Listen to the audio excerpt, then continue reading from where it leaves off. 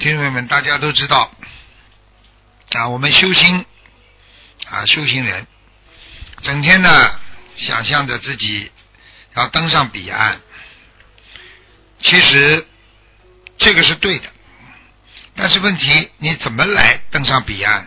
怎么样让自己能够有出离心？修行人必须具有很神圣的一种念头。这种念头，就是让你能够进入到佛门的念头。首先，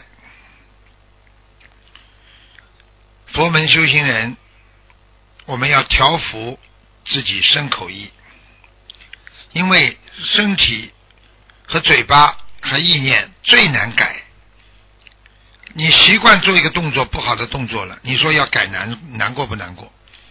举个简单例子，啊，你在家里某一个动作很不爱干净的，抠鼻子啊、挖耳朵啊，你说你要想改掉多难呢？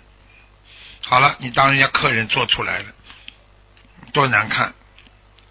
那调服什么意思？调就是把它调整过来，服就是降服自己身上啊有什么毛病啊。一定要改掉，嘴巴不要讲，不要讲，祸从口出。不讲话，你不会死的啊！你一讲话，你就砸锅了。很多人不讲话蛮好，一讲话他就砸锅了。意念要干净啊！你的意念怎么干净呢？就永远不要去动妄念，你就干净了啊！你要自己要懂得，我今天啊正念现前，不动妄念，心中老想着菩萨的庄严相，心中老想着我是观世音菩萨的弟子，我必须具有十德，就是十种德性啊道德水平。道德水准啊！我必须离开爱欲成。什么爱欲成啊？不要有对某一件事情特别挂爱了，不要有对某一件事情爱的不得了了。哎呀，我一定要得到他了，我一定要怎么样？这种欲望就像灰尘一样在你心中，所以要去除这些东西啊！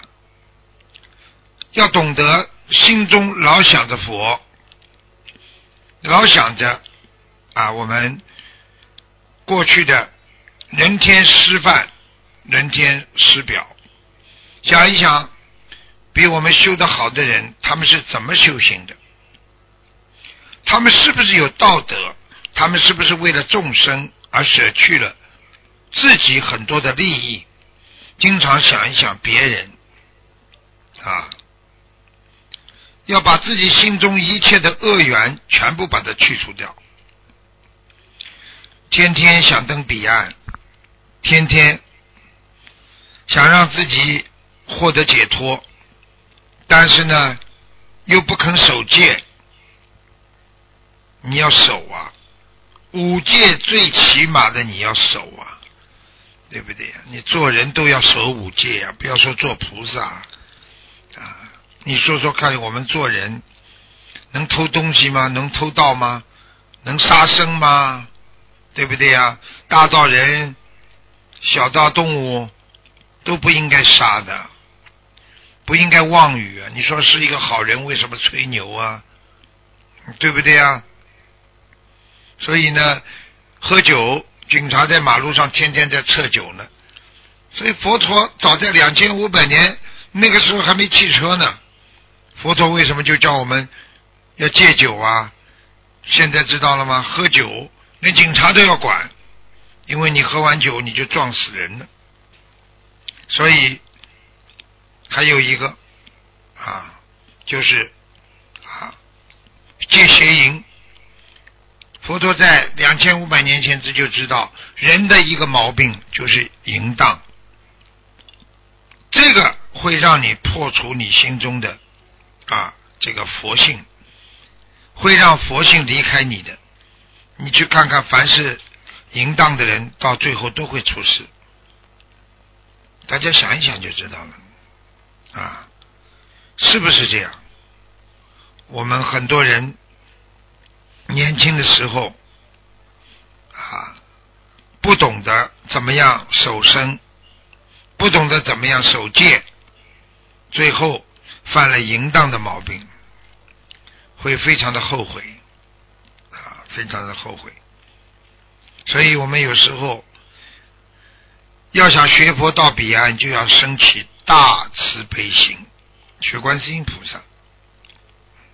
啊，我们要懂得，在这个世界上，很多的人很可怜，啊，怎么样让别人能够解脱？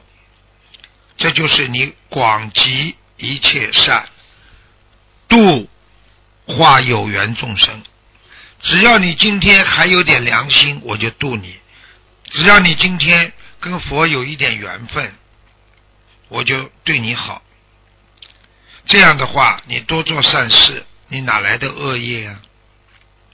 啊，所以，我们说，就是在行住坐卧当中，作为一个修行人，啊，也要安于把自己的心啊安于寂静处，好好静下心来，啊，不要。啊，去做一些啊，这个伤害别人和伤害自己的事情啊，行住坐卧都要降服自己的虚妄心。虚妄心什么？哎呀，这这个这个这个这个不应该得到的想去得啦，不应该做到的做做不应该去做的他去做了啊，在人家面前要面子了，死要面子活受罪呀，等等，全部都是虚妄心。啊，多向别人学习，专心修心啊！要观身不净，知道自己呀，哎呀，自己很不干净了，自己本身都很不干净啊！所以要懂得这些，就慢慢慢慢的理解了啊！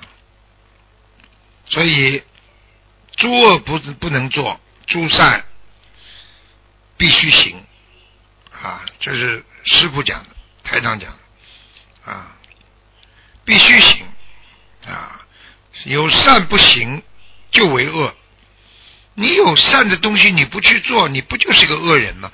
人家在做好事，你不肯做好事，你不能帮助别人，你是个好人吗？啊！所以，如果一个人不好好修，一旦无常。到的时候，你只能孤独行了。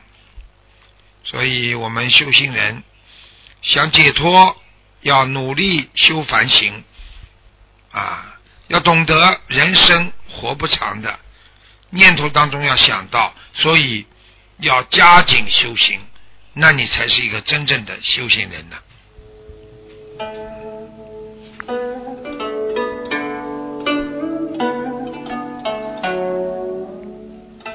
听众朋友们，今天呢，就给大家呢讲到这里。在这个梦幻泡影的世界当中，不要把什么事情看得太真。人和人之间都是缘分，缘尽了就没有了。所以希望大家要懂得这个道理啊。我们做人不能对不起别人，也不能对不起自己。要念念修行人，念念菩萨情，所以希望大家好好努力，好好修心，把自己彻底从人间的烦恼当中解脱出来。